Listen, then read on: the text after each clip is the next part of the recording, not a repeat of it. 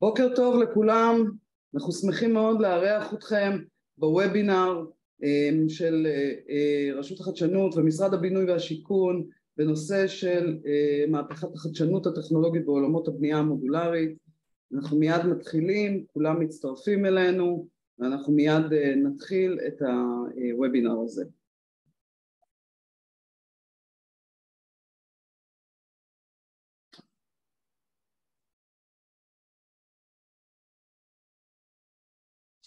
אני רואה שהרבה אנשים מצטרפים אלינו אה, ובינתיים אה, אני אשמח לעבור על אה, לוח הזמנים שלנו לסשן הזה.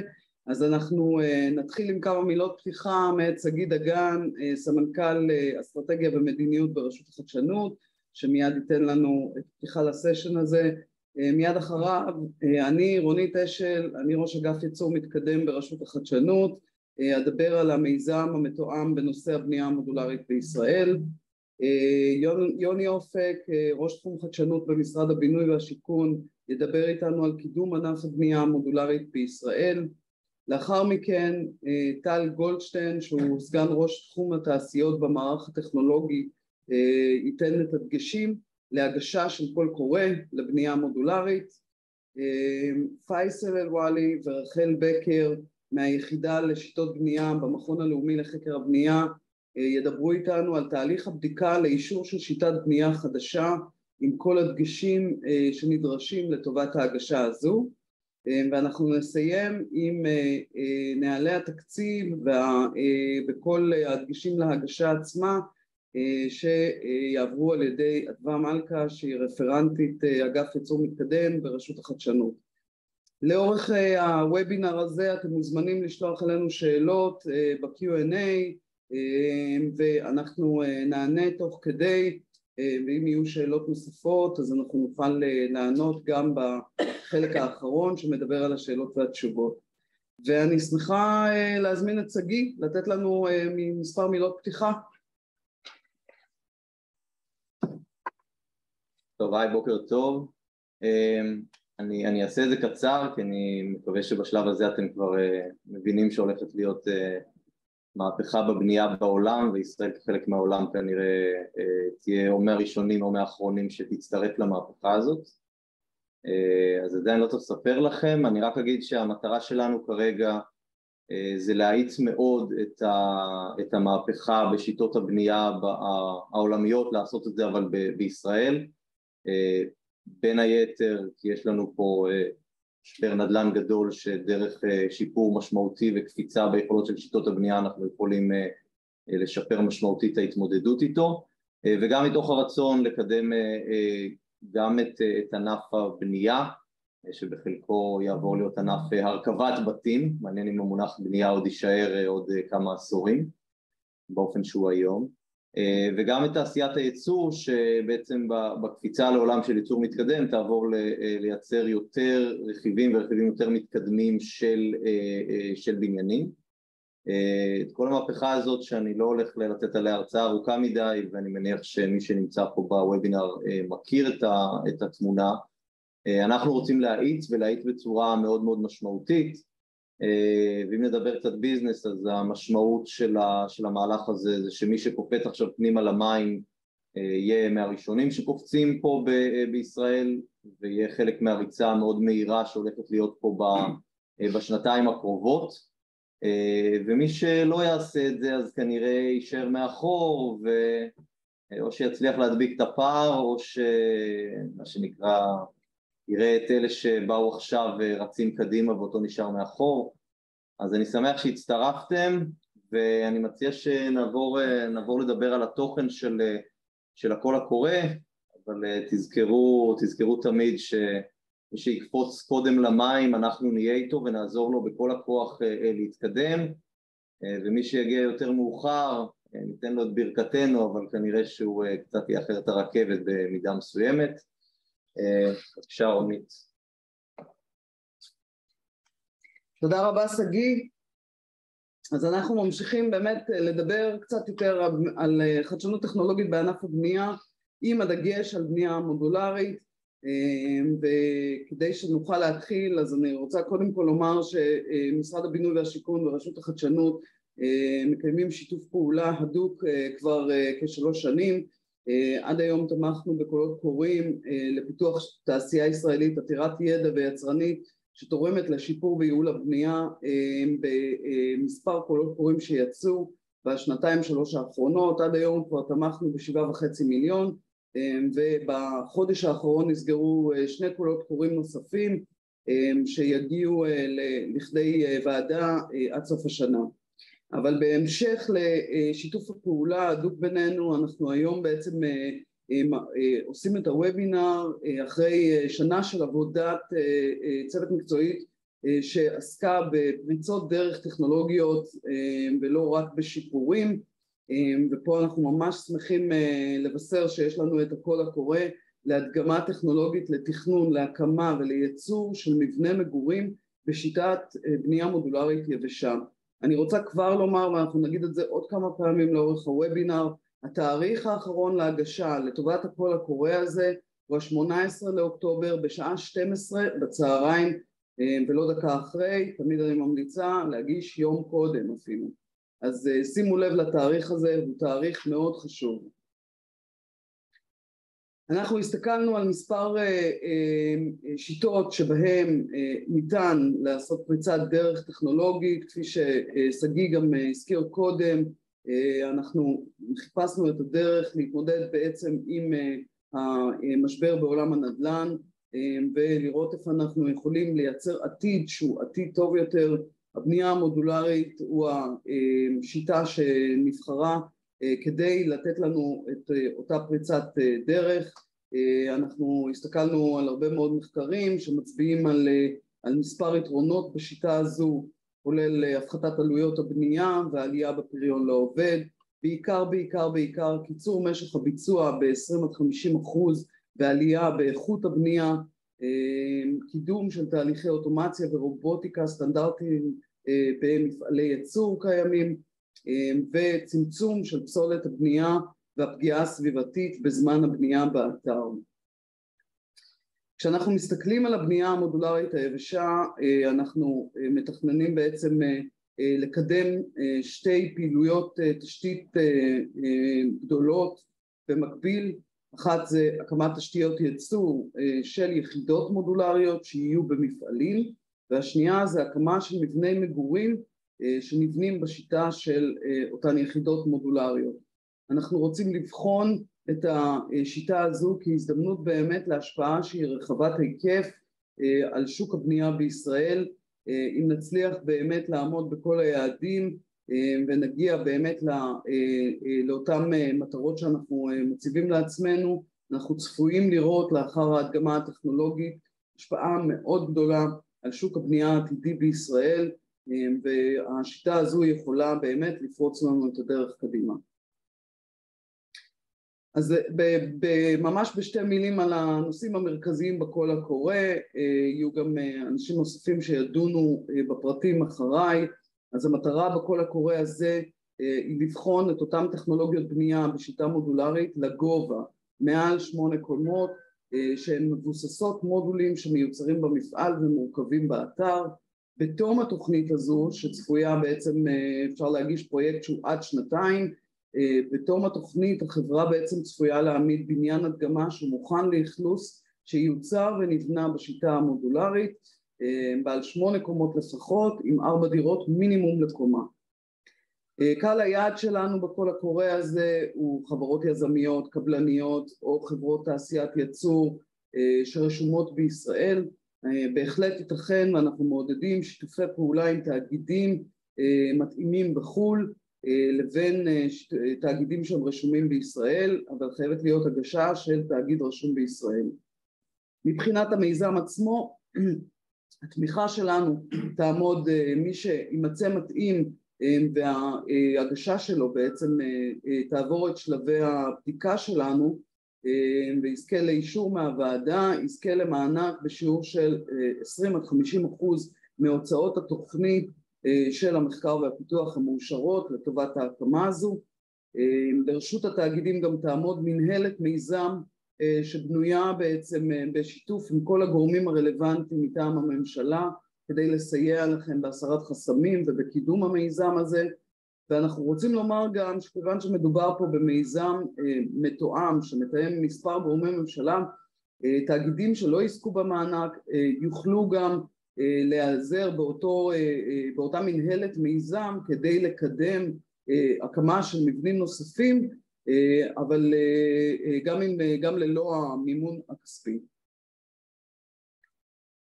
הקריטריונים מופיעים בקול הקורא עצמו באתר אבל בראשי פרקים קריטריונים שאנחנו נסתכל עליהם לטובת הערכת הבקשה אנחנו נסתכל על יכולות התאגיד או השותפים באשר להיתכנות הרגולטורית, הטכנולוגית, האופרטיבית והמימונית להשלמה של הדגמה טכנולוגית של מבנה מגורים בבנייה רוויה.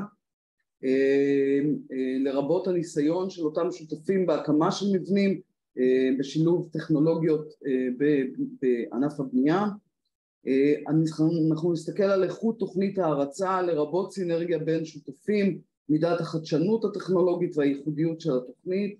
נסתכל על יכולות התאגידים המציעים במשותף זאת אומרת היכולות שלהם בתכנון, בניהול ובתפעול התוכנית כדי להביא להשלמה שלה ולמימוש העסקי שיבוא לאחר אותו מבנה ראשון או פרויקט ראשון שיעמוד. היכולת שלהם באמת להגיע למימוש ולמינוף של כל אותן טכנולוגיות שהם עשו להם הדגמה במבנה הראשון. מידת ההשפעה הצפויה של תוכנית ההרצה על ייעול ושיפור ענף הבנייה בישראל.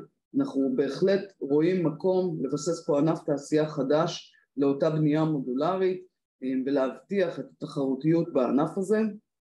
ותרומת התוכנית להקמה של מבנים במצוינות וסטנדרט גבוה. אנחנו מחפשים בהחלט לראות השתלבות של הפרויקט הזה במרחב העירוני תרומה לביסוס המעמד של הבנייה המודולרית ובאמת לראות שקהל היעד של אותם מבנים מסתכל ורוצה לעבור לאותם מבנים, הדגמה של מצוינות אדריכלית, איכות בפרטים וכולי.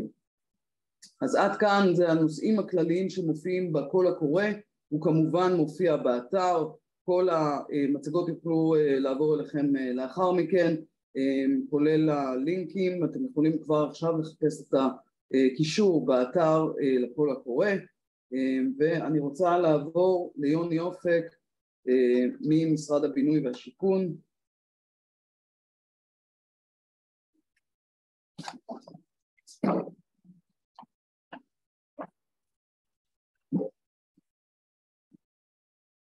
שלום לכולם, אז באמת נתחיל מהסיבה באמת למה אנחנו נמצאים פה, אז אנחנו נמצאים בענף שהוא זה נתון מ-21, ענף שהוא מייצר היקף מאוד משמעותי, גם בחלק שלו בתוצר הוא מאוד משמעותי שישה אחוז, אבל יש, אנחנו לא לוקחים בחשבון גם את, ה, את העסקים מסביב לזה, אז זה כנראה גם אחוז הרבה יותר גבוה. זה, זה ענף שיש לו משמעות לכל אחד מאיתנו, גם מבחינת ה...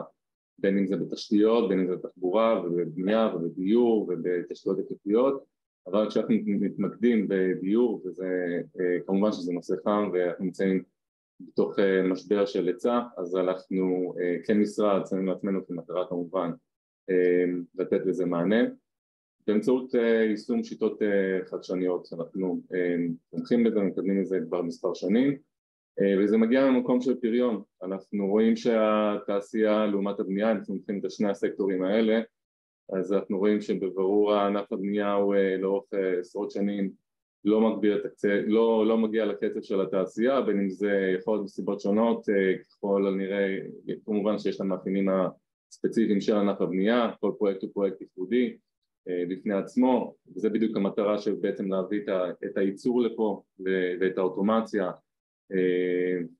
וכך בעצם לייעל את כל, את כל הענף הזה בין אם זה שימוש בהתייעלות בתוך שיטות הייצור וכל מיני דברים כאלה בעצם שכן מצביעים על פריון יותר גבוה בתעשייה לעומת הבנייה. הצרכים שאנחנו רואים ויכול להיות שהם כבר יותר מעודכנים למעלה בצרכי הדיור שיש לנו באופק אז ב-2040 אנחנו מדברים על 70 אלף יחידות דיור בשנה אנחנו צריכים לייצר זה קצב ייצור שאנחנו לא נגיע אליו באמצעות השיטות הקונבנציונליות הנוכחיות שיש לנו היום. ולכן מפה החשיבות, מפה החשיבות שלנו כמשרד לבוא ולקדם ולהשקיע ביוזמות ובאמת להצביע על מגמות ומגמות ושיטות שאנחנו רואים בהן כשיטות שיכולות לתת מענה. משך הדיור, משך הבנייה גם מתארך, יש איזה סיבות גם כן, בין אם זה עכשיו שאנחנו בונים הרבה יותר לגובה במרכזי ערים וזו כנראה המגמה, אבל בכל אופן אנחנו צריכים למצוא שיטות יותר מתקדמות להתייעלות וחלק מזה זה תיעוש הבנייה, אני לא אעבור על זה, אני מניח שכל מי שנמצא בוובינר אז יש פה חברות שבעצם נמצאות שם אז יש פה הרבה מאוד רכיבים כמו הבנייה המודולרית שנמצאת בקצה השמאלי בין אם זה דו-ממד שזה באמצע ויש כל מיני היבטים שונים של תיעוש אבל בסופו של דבר התיעוש בא במטרה אחת לייעל, לקחת תהליכים שנמצאים בתוך אתר הבנייה ולהכניס אותם לתהליכים שהם בתהליכי אוטומציה בסביבת ייצור כחלק מזה אז ניתן בוואן ליינר אז אנחנו עשינו עבודה מאוד מאוד רחבה החלטת ממשלה 189 הייתה בעצם למנות צוות בין משרדי שמטפל בנושא הזה, שיציע צעדים, שיקדם את כל הנושא של התיעוש וחלק מה... בעצם היו מספר מטרות לצוות, אנחנו רואים כמה מטרות שאנחנו ראינו, שאנחנו בדק, שבחרנו, חלק מהמטרות זה גם לבחון כלים ושיטות שבעצם יעילות לבנייה יותר יותר מתקדמת, יותר עצמנית ופריונית ובעבודה אינטנסיבית יחד עם רשות החדשנות. אנחנו זיהינו את הבנייה המודולרית כבנייה שיכולה לתת מענה להעלאת בעצם רמת הפריון בפרויקטי הבנייה זה משלל רחב של סיבות וגם יכול להיות, ראינו שזה במקומות שונים בעולם גם משתמשים בבטון וחומרים שונים זאת אומרת זה לא רק מוגדר לאיזה, לאיזה, לאיזה תחום מסוים של חומרים בין אם זה פלדה, בין אם זה בטון, אז יש את הוורסטיליות של הדבר הזה וגם זה עולה לגובה, אנחנו רואים פה, זה עוד איזה דוגמה מסינגפור, 50 קומות, אבל גם בלונדון בונים 50 קומות, אז זה לא רק בנייה שאנחנו יכולים לחשוב עליה כבנייה נמוכה יחסית, ויש לה את היתרונות שלה, בין אם זה גם בכך שאנחנו לוקחים את מרבית העבודה שנעשית באתר או חלק ממנה ואנחנו מוציאים אותה מאתר הבנייה לסביבת ייצור, אז, אז ככל הנראה אז בתקווה שבעצם רמת הבטיחות תעלה בפרויקטי הבנייה פחות עבודות בגובה, שיפור הפריון, קיצור לוחות זמני הביצוע, כמובן שזה בעצם יכול להביא, וזו המטרה, להביא להגדלת ההיצע, בקרת איכות במפעל, בואו נגיד הבקרת האיכות שנעשית במפעל בסביבה מבוקרת, קרוב לוודאי שיש לה הרבה יתרונות מאשר לעשות, לבקר בקרת איכות בסביבה שהיא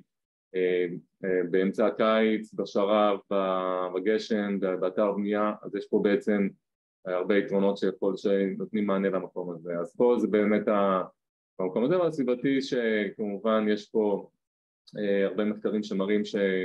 אני לא, לא ניכנס להם, הרבה מחקרים שמראים שגם צמצום פסולת הבנייה בתהליך, ה, בתהליך הבנייה עצמו ב, ב, ב, באתר, בין אם זה בין קונבנציונלי למפרסת, אז זה כבר זה מצביע על יתרונות במקום הזה, יש תקנים בעולם שכבר הם מבססים את השיטה הזאת, כלומר יש תקן עכשיו שהוא איזו שבימים אלה יש ועדה שכותבת את התקן הזה ומנסחת אותו, יש תקן אמריקאי, אז העולם רואה את זה וגם אנחנו, אנחנו נכנסים למגמה הזאת אחרי שראינו שבעולם זה מיושם במדינות מתפתחות, זה הבניין בלונדון למשל שראיתי איזה כתבה וזה בנייה על גובה עם קורס וזה משהו של 50 קומות, 49 קומות. וגם ברמה של בים אז כמובן שאנחנו מתקדמים כל הנושא של בים ברמה גם בצוות בין משרדי יחד עם משרד ראש הממשלה. בימים אלה אנחנו בעיצומו של הדיון בעיצומו של העבודה בצוות.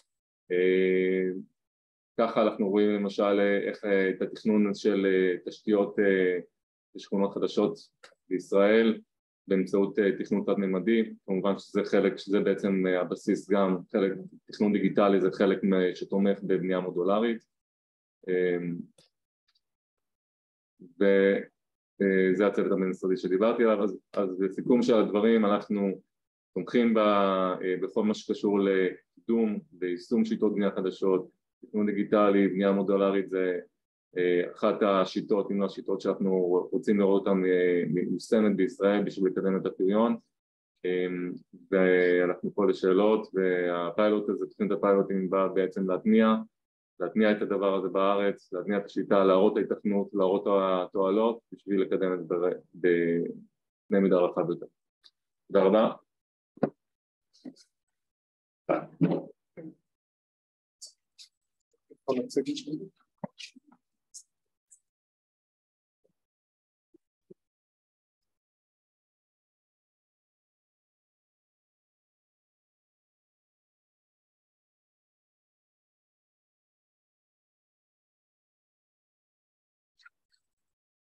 טוב, בוקר טוב לכולם, שמח לראות פה באמת את כל המשתתפים. אה, אני אתן כמה דגשים על הפנים הטכנולוגיים שאנחנו מחפשים לראות אה, בהגשה עצמה ולא רק. יוני התייחס לכמה נקודות, רונית כמובן התייחסה לכמה נקודות. אה, מבחינת התהליך שהתבצע פה, אז באמת אחרי, ה... אחרי שתגישו את הבקשה ואנחנו ניגע פה בכמה מילים על מה אנחנו רוצים לראות בבקשה, אז יגיע אליכם צוות בודקים, גם של רשות החדשנות, גם של משרד הבינוי והשיכון, וככל שתרחיבו בבקשה על הפנים הטכנולוגיים, על הפנים הכלכליים ועל פנים נוספים שאנחנו אה, אה, ניגע בהם בהמשך, אה, ככה תידרשו לפחות השלמות. מבחינת זמן להשלמה לא יהיה יותר מדי זמן להשלמות שאנחנו ניתן לחברות להשלים את המידע כי אנחנו פה בקבועי זמן צפופים אל מול לוחות זמנים של ועדה של ועדת מחקר של הרשות בדרך כלל אנחנו נותנים, נותנים סדר גודל של שבוע להשלמות ואנחנו מבקשים פה באמת הרבה מאוד אינפורמציה שנוגעת לכל תהליכי הבינוי שאתם מתכננים לעשות אותם. אה, מבחינת הבנייה המודולרית אה, ככה יש פה כמה נקודות אבל מאחר וכל מי שנמצא פה אני מניח מכיר כבר את הדברים גם ברמה הדו-מימדית גם ברמה התלת-מימדית אז ניגע בזה פחות ונעבור להיבטים הטכנולוגיים. כאשר אנחנו מחפשים לראות באמת אה, טכנולוגיות מוכחות.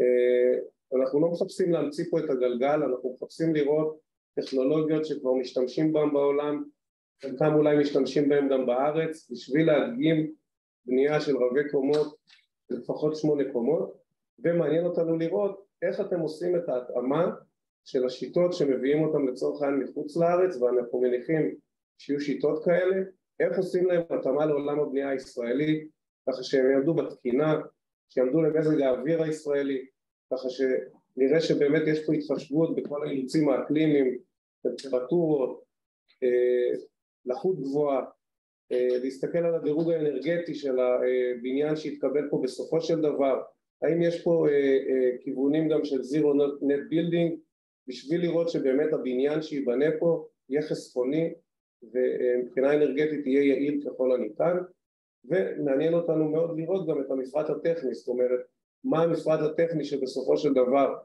הדירה שתיבנה תהיה בו והאם במסגרת התהליכים של הבנייה המודולרית כמה גמישות תהיה בסופו של דבר לדיירים לבחור את רמת גימור אה, שהדירה תתקבל בה. מבחינת החדשנות אנחנו מסתכלים פה על שני דברים מרכזיים, אחד ברמה המפעלית, אה, רונית ויוני גם נגעו בזה, תהליכים של אוטומציה, רובוטיקה, איזה ציוד ייצור מתקדם יהיה פה ומה רמת הבטחת האיכות שתתקבל למודול כזה שייבנה במפעל ויגיע אה, לאתר הבנייה. ובאתר הבנייה מעניין אותנו אה, לראות את התהליכי בנייה שהתבצעו בפועל. ואם אפשר לתת הסברים גם על התהליכים היבשים שיהיו כאשר הכוונה היא באמת לנסות למקסם פה תהליכים יבשים וגם מה התהליכים הרטובים המשלימים שיביאו בסופו של דבר את החיבור של כל המודולים האלה ביחד לכדי יחידה אחת. אה, בהקשרים של החיבור ליחידה האחת אז אנחנו רוצים באמת לראות איך אתם דואגים, איך תדאגו שיהיה חיבור אמין ואיכותי בין היחידות השונות בין אם זה ייבנה בצורה תלת מימדית או בין אם בצורה דו מימדית.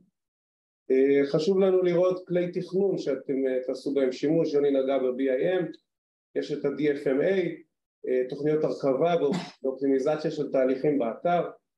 אה, מאוד מאוד חשוב לנו לראות איך אתם תתייחסו להיבטים בטיחותיים. רק אתמול היה אסון באתר בנייה בטירת הכרמל.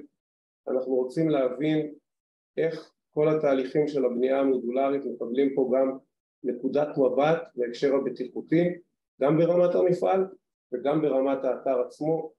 מבחינתנו אנחנו רוצים לראות דגש על כלים בטיחותיים, זה מאוד מאוד חשוב לנו לראות שהנושא הזה גם כן מקודם כחלק מהפרויקט הזה, אה, וכמובן לראות איך הוא משתלב בכל הנושא של התקינה הירוקה שנכנסה חזק אה, לתהליכים בארץ, קיימות וסביבה, ואיך זה משתלב עם העולם המודרני של בית חכם, איזה סנסורים חכמים יוטמעו במודולים אה, שייבנו וכמה באמת הבית הזה יהיה ידידותי לדייר שיגור.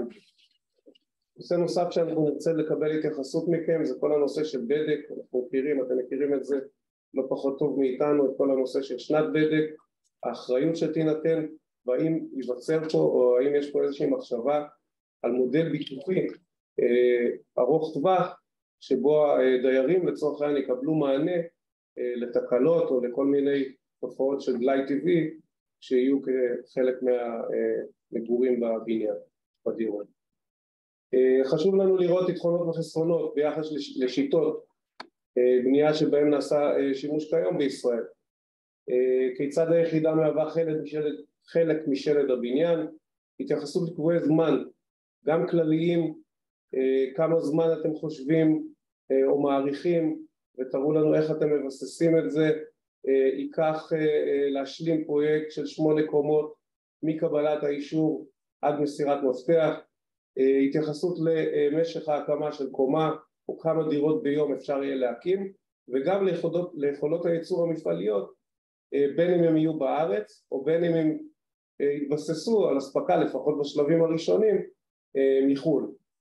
אה, חשוב לנו להבין איך מתייחסים לכל הנושא של בידוד טרמי ואקוסטי, תחזוקתיות של היחידות האלה, איכות הגמרים, כל הנושא של עמידות ברעידות אדמה, אה, עמידות באש אה, ופסולת, יוני התייחס לזה גם כן, אנחנו מבינים מלא מעט מחקרים ולא מעט תהליכים שנעשים היום שהתהליכים האלה הרבה יותר חסכוניים מבחינת חומרי גלם, אפשר לנצל חומרי גלם בצורה הרבה הרבה יותר טובה. חשוב לנו שתראו לנו את הדברים האלה. אה, במסגרת הבנייה של המודול אז כל מודול נשמח לראות איך אה, אה, ניגשים למערכות שירות כמו חשמל, תקשורת, גז, תברואה זה דברים שחשוב שתיתנו להם דגש על מנת שנוכל לראות באמת איך הדברים האלה בסופו של דבר מגיעים לכדי יחידה שלמה ופעילה שיכולה לעבוד לאורך זמן גם בהקשר התחזוקתי ויכולת קבלת שירות. אמ, חשוב לנו להבין את המשמעויות של הקמת תשתית בישראל כאשר אנחנו מדברים מבחינת תשתית על הקמת מפעל שייצר מודולים כאלה גם בטווח הקצר וגם בראייה שהשיטה הזאת מצליחה ואנחנו בהחלט רואים אותה מצליחה עם עלייה משמעותית בדרישה ואיך מפעל כזה יכול להתפתח על ציר הזמן הקדמה של הכלכליות של השיטה המוצעת והערכת כוח אדם למפעל כזה שיוקם. זאת אומרת חשוב לנו לראות כמה אנשים, בסופו של דבר אחת מהמטרות שלנו זה לעודד אה, אה, ולהגדיל את התעסוקתיות במשק וחשוב לנו לראות כמה מפעל כזה יתרום אה, להגדלת התעסוקה כמו גם אולי לצמצום עבודה באתר הבנייה. חשוב שתדגימו את שיתופי הפעולה עם חברות בינלאומיות שתעשו איתם ונצ'ר כזה או אחר על מנת שבאמת נראה את ההיתכנות ואת היכולות שלהם ואת מודל ההפעלה שלכם, איך שאתם רואים אותו. זאת אומרת, איך אתם רואים את, ה, את כל תהליך הבנייה הזה אה, משתלב בין כל הגורמים האלה ביחד, בין היצרן, הקבלן, היזם, האדריכל ובסופו של דבר גם הדייר שיקבל את הדירה הזאת לידיו.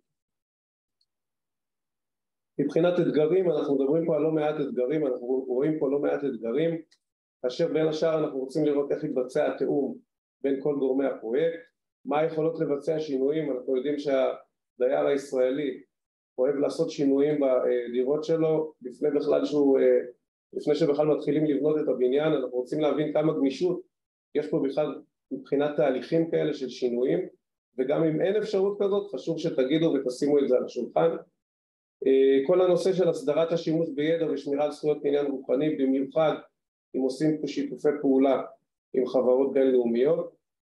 התייחסות לכל הנושא של ההשקעה הנדרשת להקמת מפעל והיכולת הכלכלית של כל אחד מכם שמגיש את הבקשה ורואה את עצמו נכנס לאירוע הזה של בנייה מודולרית את היכולת הכלכלית שלו להקים ולממן מפעל כזה וגם את היכולת לייצר תשתית והכשרה והסמכה של כוח אדם לטובת כל התהליכים האלה.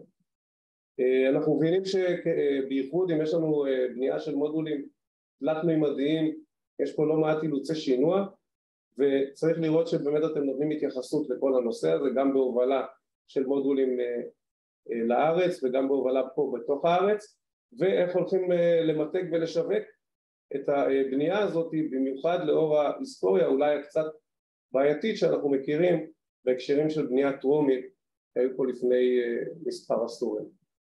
מבחינת פרקים אז התייחסתי לכל הנקודות ואתם תראו את זה גם במצגת שתעלה לאחר מכן לאתר אבל בגדול יש פה את כל הסעיפים המרכזיים שאליהם אנחנו נרצה שתתייחסו ואנחנו מבקשים באמת שתנסו לפרט כמה שיותר זה יחסוך גם לכם בהמשך וגם לנו בתור בודקים שיגיעו לבדוק את הבקשה לעשות את ההכנה יותר טוב לפני שאנחנו מגישים אליכם.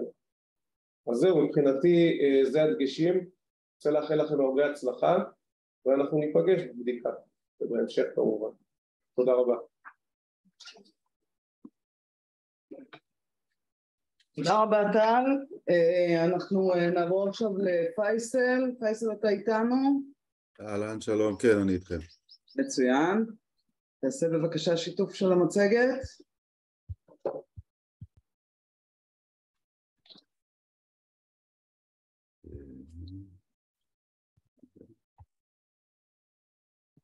רואים? כן, רק תעלה לפול סקרין. יופי. בסדר? כן, מצוין. יופי.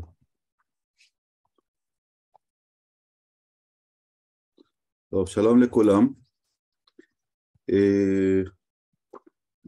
אנחנו במסגרת היחידה לבחינה ואישור שיטות בנייה בטכניון, שאני משמש כמנהל היחידה, נציג את, ה, את הנקודות הקשורים אלינו. ברשותכם אני אעשה קצת מבוא ורקע מקצועי על, ה, על הפעילות של היחידה. היחידה ב, יש לנו פעילות מחקר ענפה של חברי הסגל של הפקולטה להנדסה אזרחית בטכניון במגוון תחומים כמו הנדסת מים, חומרי בנייה וטכנולוגיות של בנייה, תפקוד פיזי של בניינים, ניהול וכלכלת הבנייה, גיאוטכניקה ופעילות מחקרית. מבחינת הבנייה המתועסת, מבחינת תהליך ההתפתחות של התיעוש בנייה מתועסת, ההתחלה הייתה תיעוש באתר, כפי שרואים בתמונה, אחר כך בנייה טרומית מבטון ועץ ופלדה באלמנטים קוויים, לאחר מכן באלמנטים מישוריים, לאחר מכן בנייה טרומית עם יחידות שלט תלת-ממדיות, שזה אנחנו מתמקדים כאן בוובינר, ובנייה מודולרית עם יחידות תלת-ממדית שמיוצרות ומוגמרות במפעל, מה שנקרא PBVC, Prefabricated Prefinished Volumetric Construction. מבחינת סקירה קצרה על התקינה הקיימת בישראל ובעולם מבחינת הבנייה המודולרית נפחית, התקינה אינה מטפלת באופי ובפרטים של הממשקים בין היחידות ושל העבודות הנעשות באתר. מסיבה זו מרבית הפעולות הנעשות באתר כוללות פרטי בניין חדש... חדשניים ולעיתים גם חומרים חדשים ש... לשיטה... שאופיינים לשיטה הספציפית. רק כאשר היחידה עצמה כוללת חומרים או רכיבים שאין עבורם תקן, או שפרטי הביצוע שלה אינם ניתנים לבחינה לפי תקינה הקיימת, שיטת הבנייה של היחידה הנפחית עצמה נחשבת לבנייה חדשה. כלומר, פה אנחנו מגדירים את התחום שלנו.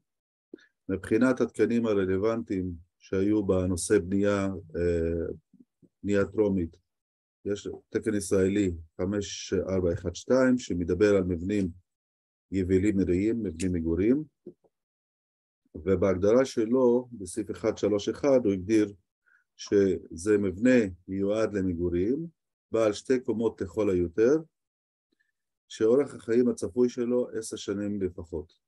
וכמובן המשקל והיחידות והמידות מאפשרים הובלתו. יש את התקן 222662, אה, בתי קבע מתועשים למגורים, בית יחיד או בית תורי. והמבוא לתקן, כאשר מדובר בשיטת הבנייה החדשה, נדרש אישור של הגוף המוסמך לאישור שיטות הבנייה החדשות לגבי התאמת השיטה לתנאי הארץ ברוח תקן זו. הגוף המוסמך אה, בישראל לאישור השיטות האלה הוא היחידה לבחינת, אה, בחינה ואישור שיטות הבנייה, זו היחידה שלנו במכון לאומי לחקר הבנייה. חלות התקן הוא חל על בתי קבע יחידים מתועשים ועל בתי קבע טוריים מתועשים עם מספר יחידות דיור מחוברות אופקית המיועדים למגורים, כלומר אין, הוא לא חל על מבנים לגובה. ומבחינת החומרים והרכיבים בהגדרה שלו הוא הגביל את השימוש לדרישות התקן 921, את התנהגות של חומרים בעת שריפה, מי שלא זוכר את התקן, והרכיבים, מוצרים וחומרים יעמדו בדרישות התקנים הישראלים המתאימים על עדכוניהם ובהיעדרם בדרישות תקנים בינלאומיים, אזוריים או תקנים לאומיים מתאימים של מדינות מפותחות ולא יגרעו מעמידות הבית בדרישות תקן זה.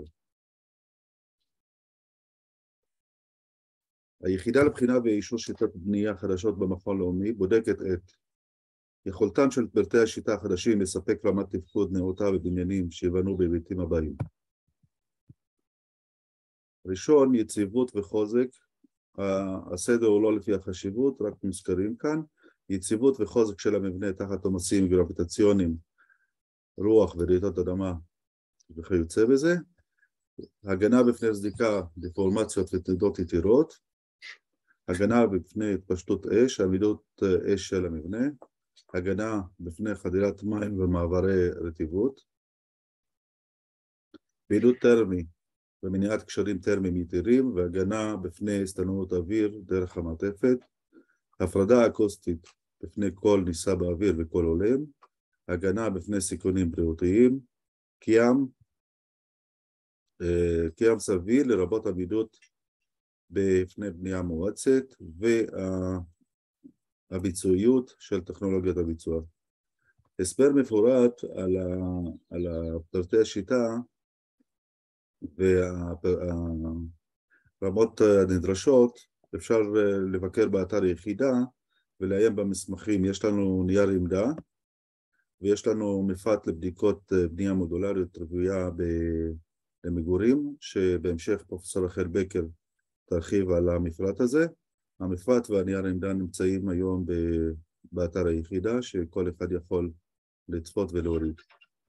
ההבדלים בשיטות הבנייה עבור בנייה רוויה לבניינים, לרבות בניינים גבוהים ורבי קומות יכולים להיות בחלק או בכל ההיבטים הבאים או אחד בפרטי הבניין של היחידות המודולריות, בפרטי הבניין של העבודות המבוצעות באתר או בפרטי החיבור השונים בין יחידות ובינן לבין חל... חלקים בנויים באתר, שזה הגרעינים וכולי, בחומרים ובשיטות של פרטי האיתום לסוגיהם, בחומרים ובשיטות לפרטי חסימת אש לסוגיהם, בהשלמות פידוד טרמי ואקוסטי, באופן הביצוע והגימור של החזיתות ועוד.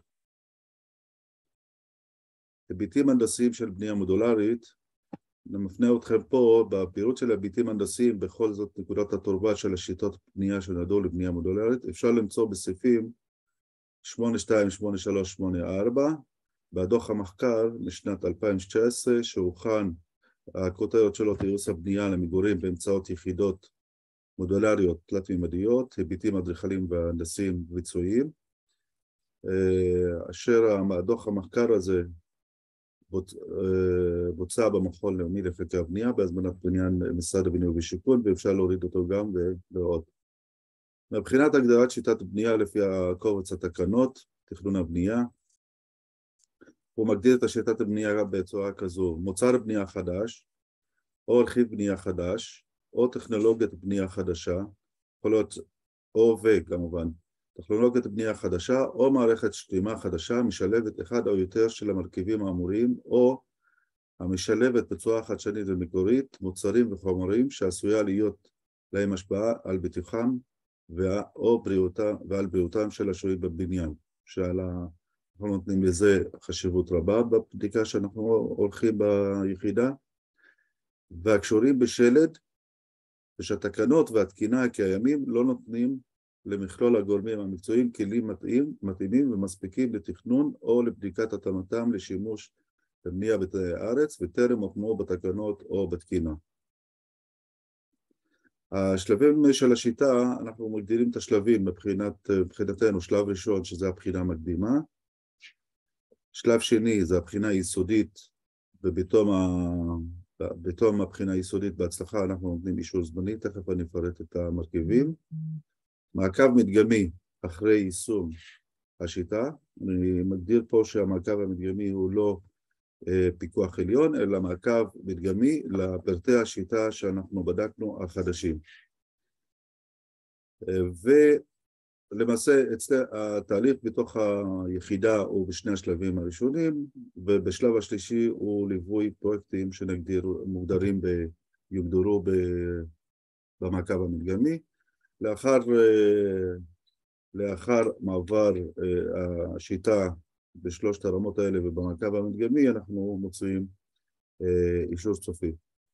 עכשיו, פירוט השלבים של בחינה מקדימה, אה, קודם כל אנחנו בוחנים אם השיטה אינה חדשה, ואם אה, השיטה אינה חדשה והיא כפופה לתקן ויש כלבי התקן שמכסה את כל השיטה, אז אנחנו מגדירים אותה שהשיטה אינה חדשה ואנחנו מוציאים אותה לתהליך הבחינה.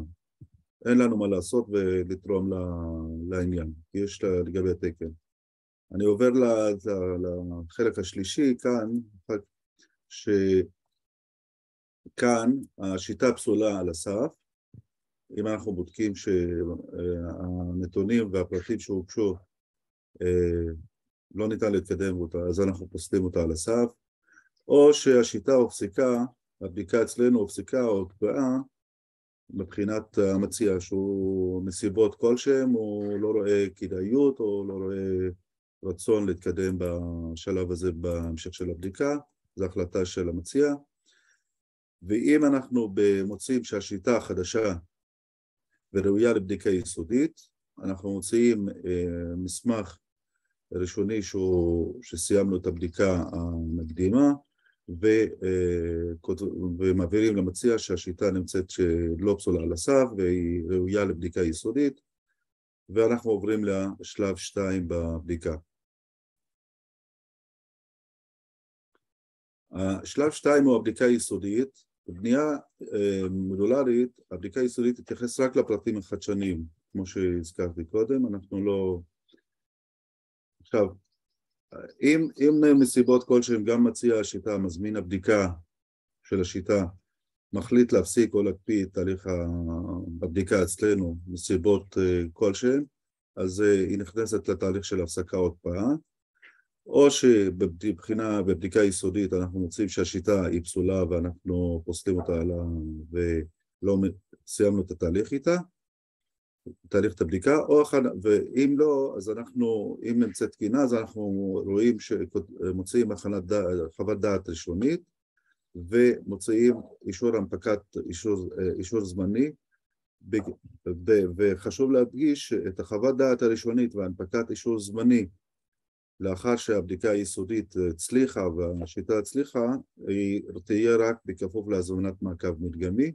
האישור הזמני הזה מספיק מבחינת את, אה, להגיש בקשה להיתר ולקבל אישור עבור שיטת בנייה חדשה, כאשר למציע יש לו אישור זמני מהיחידה, ואחרי זה הוא עובר לשלב שלוש, שזה מעקב מדגמי.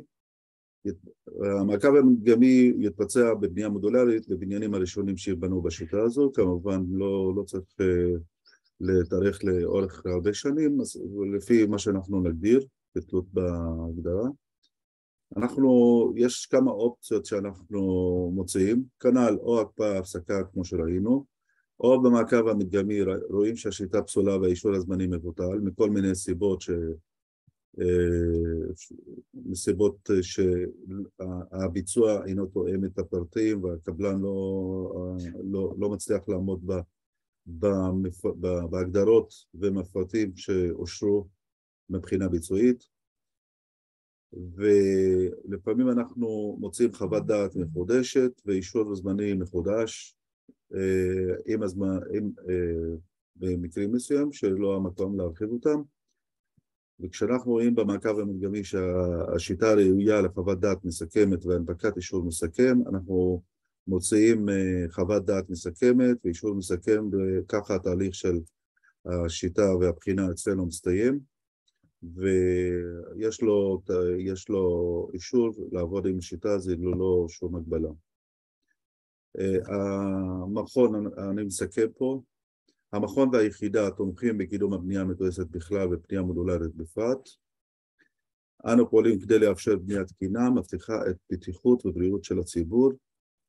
במהותה של בנייה חדשנית אינה מכסה היטב, מכוסה היטב על ידי מערכת התקנות והתקנים הקיימים. במצב זה אישור היחידה וההנחיות בחוות הדעת המלווה אותה מאפשרים החדרתה של, ה, של השיטה ויישומה התקין ברוח התקנות בישראל. ובזה אני מסיים, ופרופסור אחר בקר, שתמשיך את החלק של המפרט הטכני. תודה רבה פייסל. בבקשה. אם רק תוכל להוריד אותנו בשיתוף, יופי. ואני מזמינה את פרופסור רחל בקר.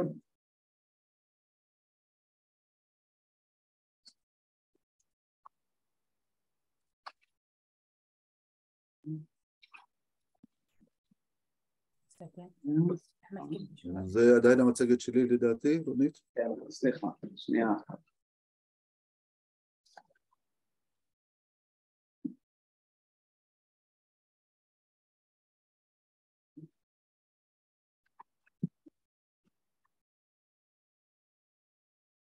שלום לכולם. אה, באתר של המכון הלאומי לחקר הבנייה נמצאים שני מסמכים שאני אדבר עליהם בקצרה. אני מציעה פשוט לגשת למסמכים, להוריד אותם ולקרוא אותם, ואני לא אוכל לעבור עליהם בשלמות. המסמך הראשון נקרא נייר עמדה ונוגע לבנייה מודולרית עם יחידות אה, תלת-ממדיות מוגמרות במפעל, והמסמך השני מפרט הגשה שהוא המסמך שמפרט איך להגיש את כל החומר הטכני ליחידה לבחינה או לאישור שיטות בנייה חדשות כדי ש... יכול להיות שרואים אה, את השיתוף מצגת שלנו, דקה, סליחה. סליחה.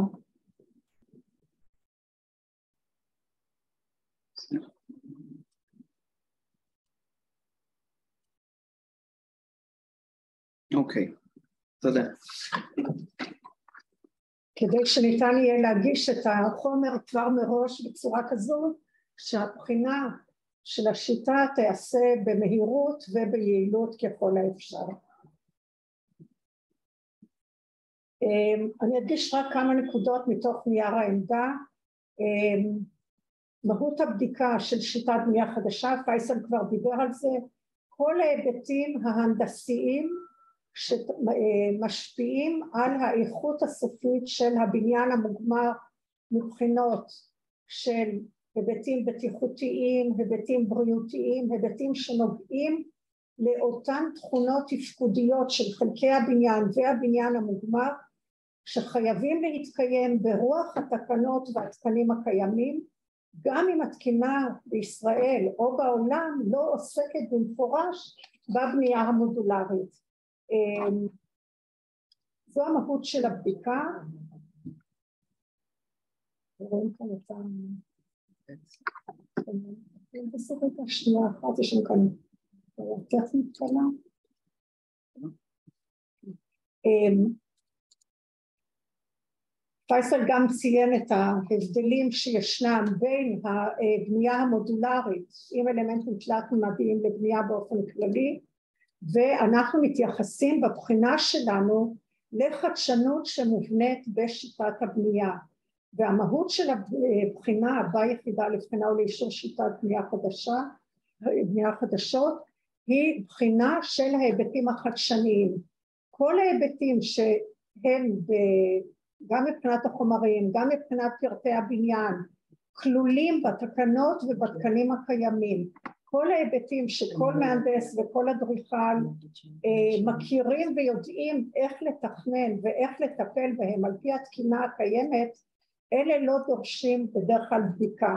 ולכן המיקוד שלנו הוא באותן נקודות תורפה, באותם היבטים שבהם השיטה הספציפית יש בה חדשנות שהמהנדס הסביר לא יכול להיות בטוח בעצמו אם הוא מתכנן אותם נכון, אם הוא בוחן אותם נכון וגם הבודק שלו, נניח מכון הבקרה, אין לו את הכלים המתאימים לבוא ולומר אכן התכנון שלך הוא תקין או התכנון שלך לחלופין אינו תקין כי המערכת של המסמכים התומכים שקיימת בישראל לא נותנת את הכלים לכך.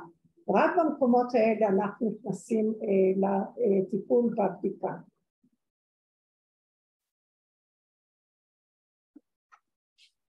עכשיו אה, לגבי השלבים שפייסל ציין, שלב הבדיקה המקדימה, שלב הבדיקה היסודית והמעקב. אה, בכל אחד מן השלבים האלה מבחינת הנושא של הבנייה המודולרית אנחנו מסתכלים על קיומה של חדשנות ופסילה על הסף כנושאים ראשוניים לטיפול. אם אין חדשנות לא צריך טיפול אצלנו, אין צורך לבדיקה. אם קיימת חדשנות צריך לבחון דבר ראשון האם היא אינה פסולה על הסף. כששני אלה מתקיימים, קיימת חדשנות והיא אינה פסולה על הסף, עוברים לשלב של מה שאנחנו מכנים הבחינה היסודית, כי את החדשנות הזו צריך לבחון ביסודיות ולהבטיח שאכן הכל מה שצריך להתקיים מתקיים בה ואז אפשר לתת אישור. אה, בצד השני, בצד הראשון נבחנת היחידה עצמה, היחידה המודולרית, בצד השני נבחנת או נבחנים כל ההיבטים, כל פרטי הבניין שנוגעים לאינטגרציה של היחידות הבודדות לבניין שלם.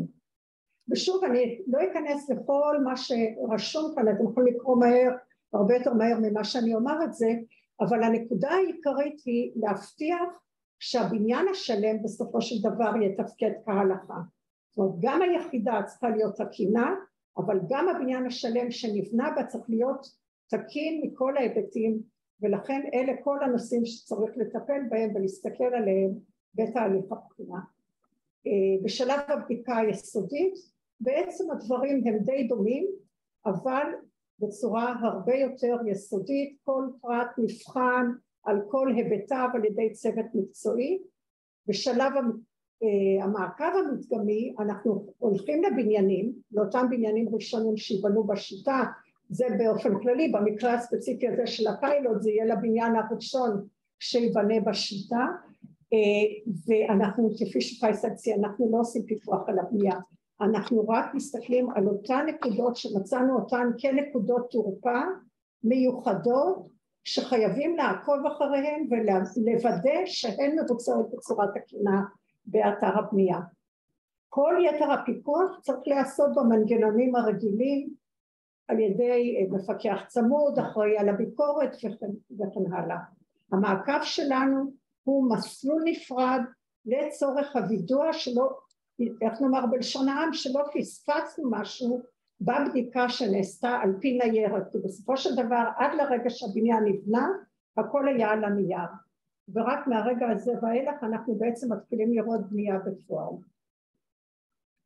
אה, כמו שציינתי, כדי להתניע את הבדיקה צריך להגיש למכון הלאומי חומרים די מרובים, ניירת בכמויות גדולות, ניירת טכנית מאוד, וכדי שתדעו מה להגיש יש לנו את מפרט ההגשה אה, שהוא נראה כך, ואני פשוט אנסה לעבור במהירות על חלק מן הנקודות שמופיעות בו.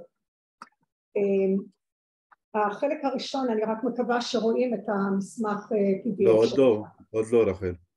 סליחה? לא רואים? אז מתוקן, תכף תראו אותו.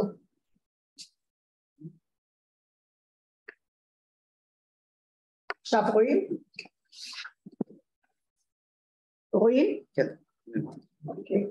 אמ, החלק הראשון של המסמך זה אה, אינפורמציה כדי לאפיין את השיטה, את חומרי הבנייה של היחידות המודולריות, את המטרות או היעודים של היחידות האלה, את המבנה של היחידות ואופן העברת הכוחות ביחידות, איך אה, מבוצעים ממ"דים בשיטה שמוגשת לבדיקה ומהי המערכת הקונסטרוקטיבית של הבניין השלם בשיטה כי יש כאן כל מיני אופציות ואתם רואים כל מה שצריך זה בעצם לסמן V או X לא משנה במקום המתאים לאותה שיטה ספציפית כי אנחנו לא יודעים מה יוגש לפיילוט או בכלל כל מי שניגש למכון הלאומי לחקר הבנייה לא רק במסגרת הפיילוט הזה ורוצה לבדוק שיטה לבנייה מודולרית צריך לידע מהי המערכת אה, ואיך, אה, מה המאפיינים שלה כך שנדע איך להתייחס בתהליך הבדיקה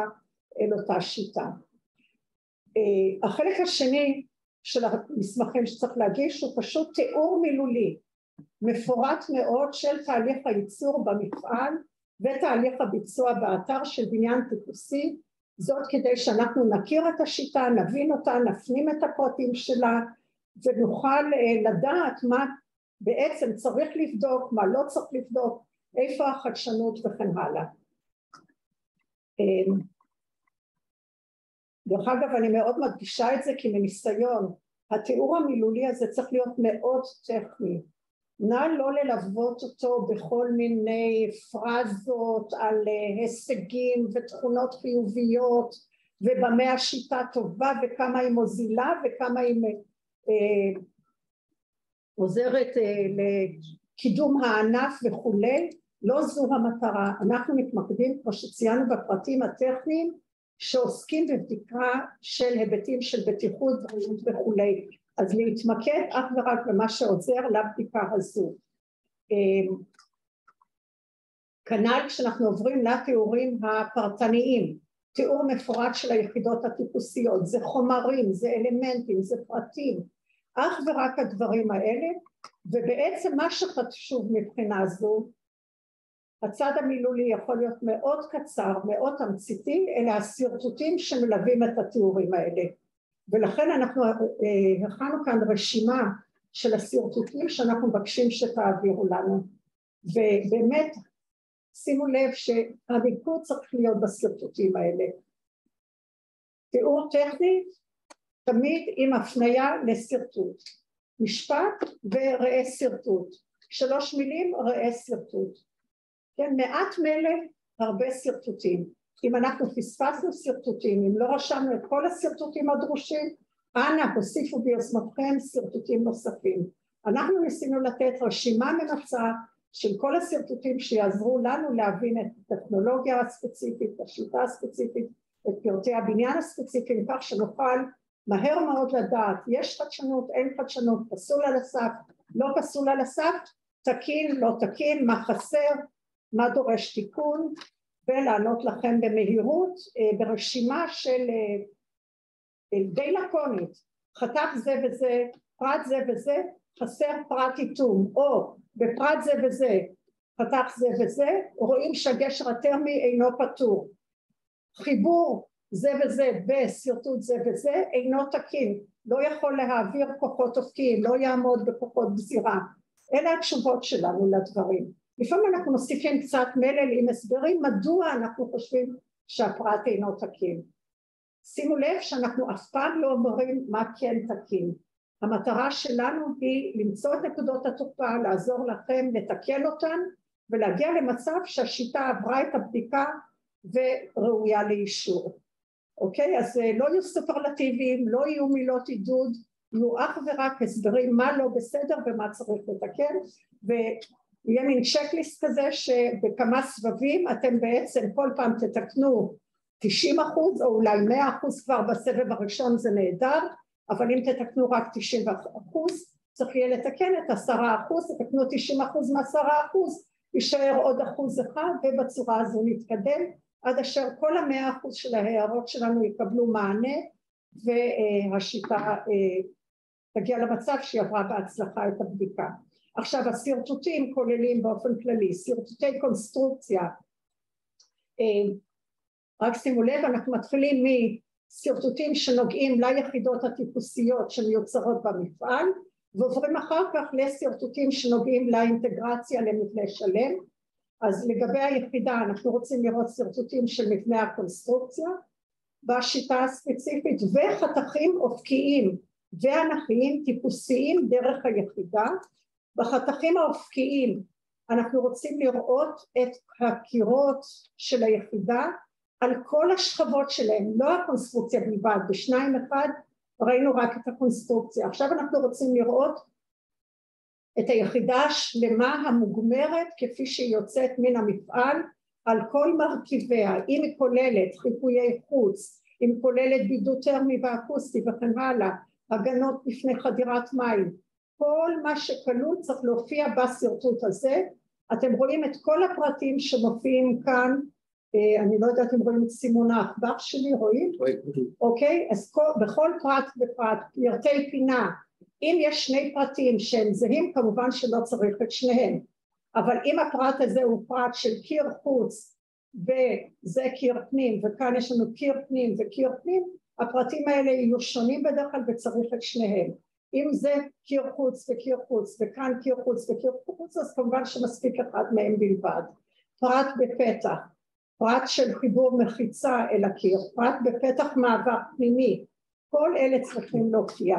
כנ"ל בחתכים אנכיים דרך היחידה, יש לנו את התקרה, את הרצפה של היחידה, קיר החוץ, קיר פנים בדרך כלל, או קיר חוץ של היחידה, ושוב כאן זה יכולה להיות מרפסת ביחידה, כל הפרטים האלה שמסומנים כאן צריך להראות אותם, בכל פרט כזה אנחנו רואים למעשה גם את הפרטים של האלמנט שנפגש בפרט וגם את אופן החיבור של כל האלמנטים ואופן הסגירה של כל המרכיבים בפרט.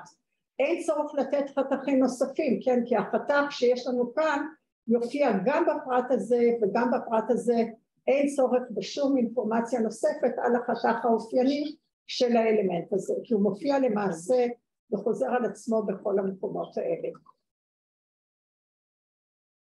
אמ,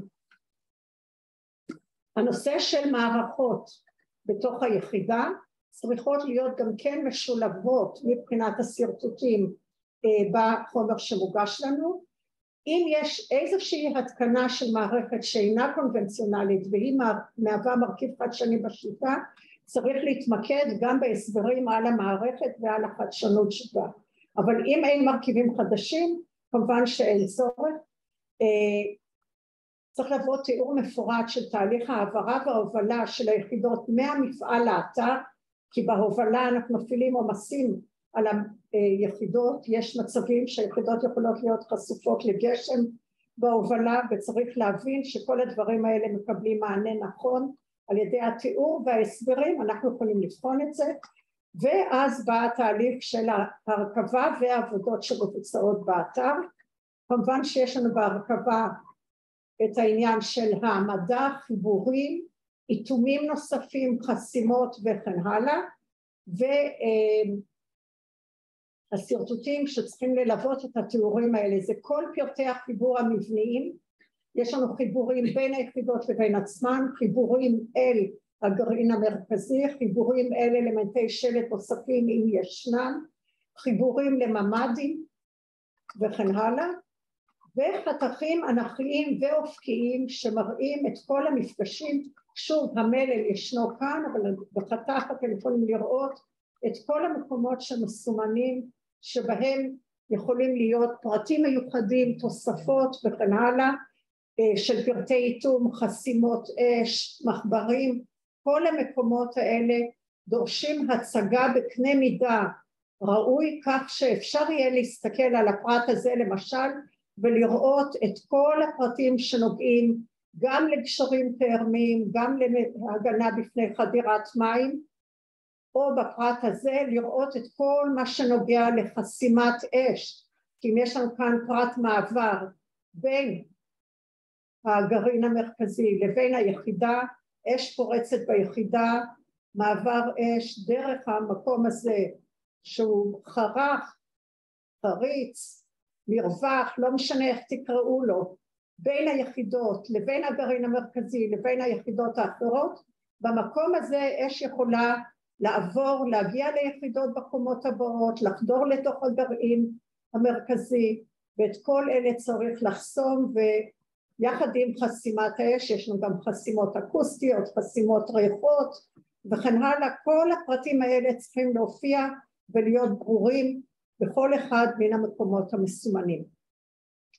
אה, אם היחידות מגיעות עם הגימור הסופי של החזיתות אז החתכים שישנם כאן רלוונטיים, אם יש לנו מערכת נוספת של חזית שמבוצעת באתר, יש לנו כאן מספר, אה, מספר אה, חתכים נוספים שדרושים כי הם מציגים לנו את אופן האיחוד בין המערכת המוגמרת באתר לבין היחידות שמגיעות במקרה הזה כנראה אה, בצורה אה, שהיא הרבה פחות מוגמרת לעומת המצב הזה. אה, אותו דבר אם יש נסיגות, בליטות וכן הלאה, כל הנקודות המיוחדות צריכות להיות מוצגות בין אם זה חזית מוגמרת באתר ובין אם חזית שמגיעה עם היחידה.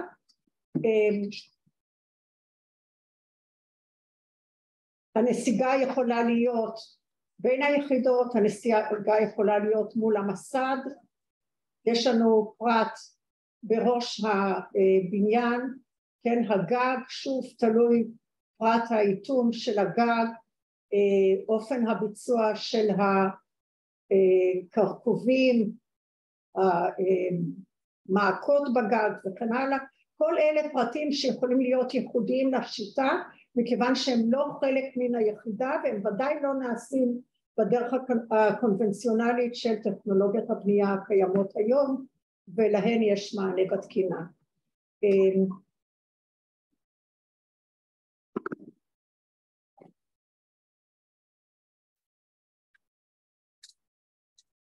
באופן דומה חתכים אופקיים שבהם אנחנו רואים את הגרעין ואת היחידות שמתחברות אליו. אה, חתכים האופקיים במקרה שהגימור הסופי של החזיתות נעשה באתר הבנייה יופיע כאן. אם הגימור הסופי הוא חלק מן היחידות יש לנו הרבה פחות פרטים אלה רק הפרטים של הממשקים בין היחידות והפרטים במעברים בין היחידות ושוב מאותן סיבות של העברת אש, העברת קול וכן הלאה וכמובן חיבורים קונסטרוקטיביים. שוב אם יש נסיגות אה, בחתך אופקי בין הגרעין לבין היחידות אז יש לנו כאן פרטים מיוחדים מקומות מן הסוג הזה שכבר הופיעו למעלה. אה, זה פחות או יותר מכסה את סוג האינפורמציה שצריך להעביר אלינו ובנוסף לכך כמובן את כל המידע שיש כבר על בדיקות שנעשו במקומות אחרים אה, בדיקות מעבדה, מסמכים של חוות דעת וכן הלאה, פירוט של נוהלי אבטחת איכות ובקרת איכות במפעל ובאתר, אלה מסמכים שהם חובת אה, הגשה גם כן, כמובן אלה רלוונטיים לארגון הספציפי של אותה התקשרות בין אה, נאמר מפעל לחברה קבלנית מסוימת, אלא אם כן המפעל יש לו מערכת נוהלי בקרת איכות גם לאתר משל עצמו, אה, לנו זה לא משנה מי אה, קובע את המסמכים האלה, אבל אנחנו צריכים לקבל אותם כחלק מן השיטה, כי רק בצורה כזו אפשר לבנות, לבדוק בסופו של דבר את הבניין השלם, וצריך לשים לב, אנחנו לא בודקים רק את העבודה במפעל, את היחידה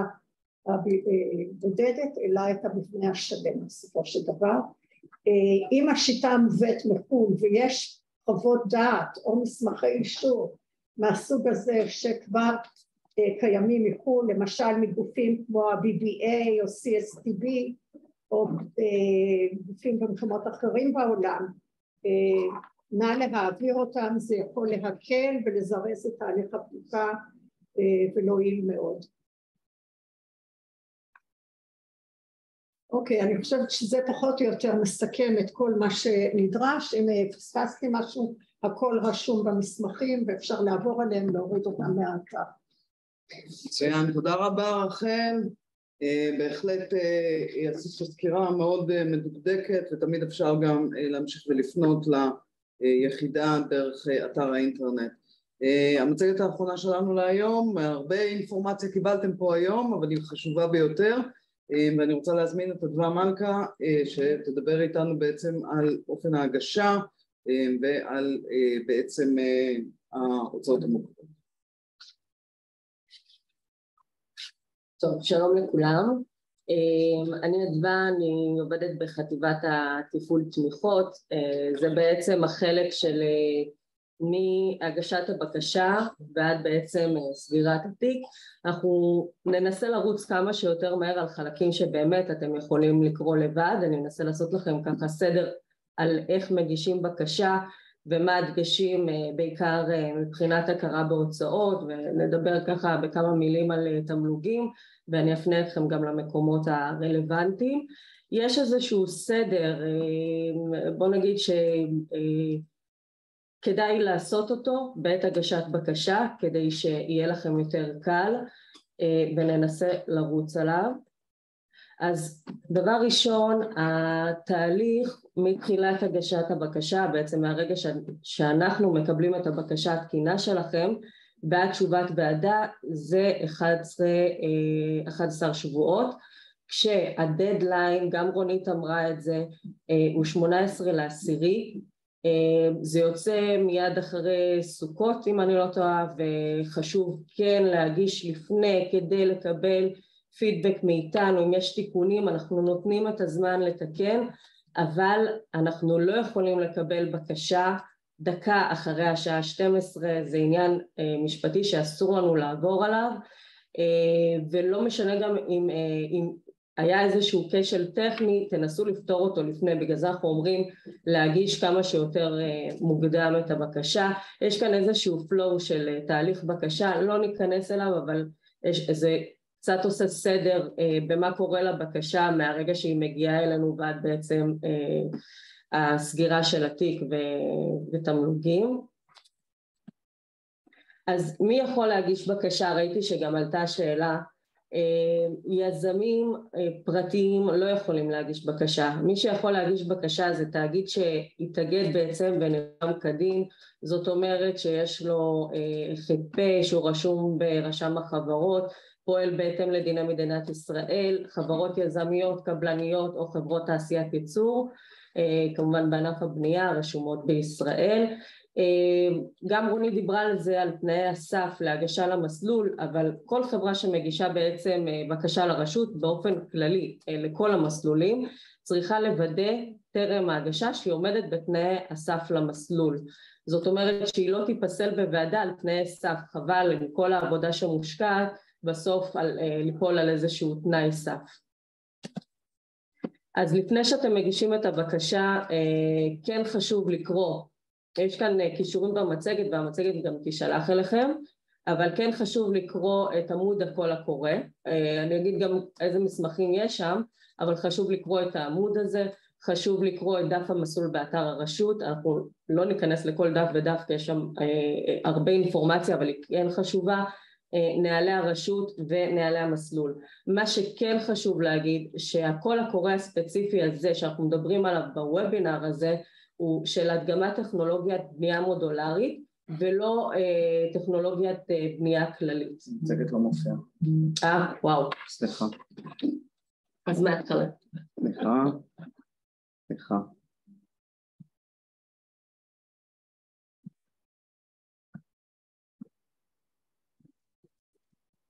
טוב האמת שזה לא כזה נורא שזה לא הופיע עד עכשיו אבל עכשיו רואים? כן? אוקיי אז דיברנו בעצם על הפלואו מהגשת הבקשה זה שקף שאתם יכולים לעבור עליו גם לבד ועל איך אנחנו בעצם ניגשים כשמגישים בקשה לרשות מה כן מומלץ לקרוא אמרתי שבשקף הזה שאתם רואים עכשיו אז יש פה גם קישורים לעמודים הרלוונטיים ושמדובר בעצם בקול קורא ספציפי של הדגמת טכנולוגיית בנייה מודולרית ולא בקול קורא כללי של טכנולוגיית בנייה אז זה חשוב לציין ושהדדליין אני חוזרת כמה פעמים וגם רונית חזרה ועוד הפעם 18 לעשירי עד השעה 12 בבקשה להגיש לפני כדי שנוכל להספיק לתת לכם אה, זמן לתקן. אה, אז הכנת הבקשה, יש נהלי רשות, גם פה לא ניכנס לכל נוהל ונוהל, אבל אני אגיד שמדובר בנהלים כלליים של הרשות, אה, ויש את נהלי המסלול, זה מסלול מספר 2 של הרשות, ואת מסלול ההטבה. אז ככה קצת סדר בדבר הזה, נהלי המסלול זה בעצם הפרקטיקה או הדרך התפעולית ומסלול ההטבה זה בעצם המדיניות של המסלול כשהנהלי מסלול, כשנהלים כלליים נוגעים בעצם לכל המסלולים של הרשות ומה שלא מופיע בנהלים הכלליים או שיש החרגות לגביהן מופיע בעצם בנהלים ספציפיים אה, של המסלול, שזה מסלול הטבה מספר 2. אז הכנת הבקשה. קודם כל אה, נגיע לזה גם בשקפים הבאים כדגשים להגשת בקשה באופן מקוון, אבל השיטה בעיניי הכי טובה לבצע את זה, חוץ מלקרוא את עמוד הקול הקורא ואת עמוד אה, המסלול אה, ולעבור אה, על הנהלים זה בעצם להוריד את המסמכים, לוודא שיש לכם את כל, המסמכ... את כל מסמכי החובה, המסמכים שנדרשים, כל מה שאתם רוצים למלא אותם, לשמור לכם בדסקטופ ואז לגשת בעצם אה, למלא את הבקשה המקוונת. הבקשה המקוונת צריכה להיות מוגשת על ידי החברה מגישת הבקשה, זאת אומרת עם הח"פ של החברה ולא על ידי אה, איש קשר של החברה. אה, ולשם בעצם מעלים את כל המסמכים שאנחנו נעבור עליהם עכשיו. כן חשוב, כתבתי גם איפה להוריד בעצם את המסמכים האלו, איפה זה נמצא, אם בעמוד המסלול או בעמוד הקול הקורא, כן צריך לעבור עליהם אחד אחד ממש, לא לפספס מסמכים, זה סתם מייצר פינג פונג וחבל, אנחנו גם רוצים לקדם את הבקשה כמה שיותר מהר ולעמוד בלו"ז הקצר שיש ממילא. אז טופס בקשה Word להורדה מעמוד המסלול זה טופס אה, בקשה לתמיכה במסלולי חדשנות בשיתוף עם גורמי ממשל, פיילוטים, יש לזה גרסה 0722, זה טופס חובה. אה, תקציב בקשה, אני, זה Excel תקציב, גם להורדה מעמוד המסלול. אה, בגיליון הראשי יש גיליון גם של הנחיות בתוך קובץ ה Excel, אבל בגיליון הראשי צריך לבחור אה, במסלול מתקני הרצה פיילוטים, מסלול הטבה מספר 2. למה זה חשוב לבחור במסלול הנכון? כי אם לא תבחרו במסלול הנכון בגיליון הראשי, לא ייפתחו לכם הגיליונות הרלוונטיים מבחינת הכרה בהוצאות. זאת אומרת שאם בחרתם אה, במסלול X שאין בו הכרה בהוצאות, תכף נגיע להכרה בהוצאות ולפרטים, אה, לא יהיה, אה, לא יהיה בו הכרה בהוצאות, למשל בציוד יהודי, לא תוכלו למלא את הגיליון הזה ובעצם זה יהיה חסר. ובסוף אנחנו כן מסתכלים על התקציב המבוקש זה מגיע לוועדה זה מגיע לבודקים מקצועיים. אה, חשוב לנו לראות אה, אה, שהתקציב המבוקש מלא שכל הגיליונות מלאים כמו שצריך. אז זה לעניין הזה תעודת התאגדות בעמוד זה מופיע בעמוד המסלול אבל כמובן שזה לא טופס, לא, טופס להורדה אלא אה, מרשם החברות, פשוט לצרף את זה אם זו בקשה ראשונה לרשות, טופס ריכוז משאבים, משאבים סליחה, להורדה מעמוד המסלול, זה צריך למלא רק אם לחברה יש יותר מבקשה אחת אה, ברשות והחפיפה, ויש חפיפה בעצם בתקופת ביצוע. אם אין חפיפה בתקופת ביצוע לבקשה אחרת של הרשות, גם אם היא בבדיקה, אז לא צריך להגיש את הטופס הזה. אה, מסמכים נוספים, נספח אחד זה מעמוד הקול הקורא, כל הנספחים הבאים אה, זה להורדה מעמוד הקול הקורא אה, או לצירוף, אבל מצוינים בעמוד הקול הקורא. חובה, אישור, הגשת בקשה לאישור בדיקה ראשונית על ידי היחידה לבדיקה ואישור שיטות בנייה חדשות, זה מסמך חובה. נספח 2, טבלת פירוט לוחות זמנים ועלויות מרכיבי בנייה, זה מסמך וורד, ונספח 3 שהוא חובה רק בהגשה משותפת, שזאת הצהרת שותפים בעצם על הסכמה עקרונית לשיתוף פעולה. כמובן שזה צריך להיות חתום על ידי כל הצדדים, זה יכול להיות גם עם חברה או יכול להיות גם עם יזם מהארץ או מחו"ל. אז דגשים טכניים כל עוד לא נאמר אחרת בנהלי המסלול, ההכרה בהוצאות היא תהיה על פי נוהל מערכת הכספים וההוצאות המוכרת, מה זה אומר? על פי נהלי המס... הנהלים, נהלי הרשות הכלליים, נוהל 202 שראינו בשקף מספר 2. מה שכן חשוב זה מבחינת תקופת ביצוע מבוקשת ותקציב מבוקש. באופן כללי ועקרוני. אנחנו רוצים לראות הלימה בין כל מסמכי הבקשה. זאת אומרת שאם בטופס המקוון כתבתם תקופת ביצוע מבוקשת של 18 חודשים אז כך גם בטופס הוורד וגם באקסל בגיליון הראשי אנחנו רוצים לראות הלימה בין כל הנתונים הללו וכמובן גם לגבי התקציב. אז במסלול הזה אתם יכולים להגיש בעצם תקופת ביצוע של עד 24 חודשים. כשתחילת תקופת הביצוע יכולה להתחיל החל מהחודש שבו אתם מגישים את הבקשה התקינה. אתם יכולים להתחיל כמה חודשים קדימה אבל לא בדיעבד. בעצם הוועדה כן תתכנס אחר כך אבל אה, מבחינת הכרה בהוצאות הרשות מכירה מהחודש שבו אתם מגישים בקשה תקינה ומלאה. עוד משהו בנוגע לזה זה שאנחנו מחשבים חודשים מלאים. זאת אומרת שאם הגש, הגשתם ב-15 לספטמבר עדיין אנחנו יכולים להכיר בהוצאות החל מהראשון לספטמבר.